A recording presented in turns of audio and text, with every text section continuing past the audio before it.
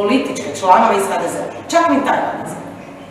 A današnji HDZ Andreja Plenkovića ima četiri člana skupine koje kroje izborne jedinice, od kojih su dva u obiteljskom odnosu očuha i posebno.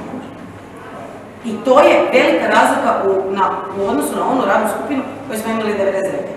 Ja ne mislim da je ta radna skupina nužno izrodila najbolji izborni sustav i mi smo bili kritični prema njemu.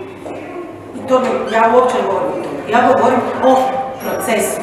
O procesu i o tome koliko je današnji HDZ pod Andrejom Plenkovićem ima niže demokratske standarde od onog Tuđmanovog HDZ-a za koje sam mislila da gore standarde ne može imati nitko kod njih. Ali evo, do, došli smo i na to da smo vidjeli novo demokratsko dno.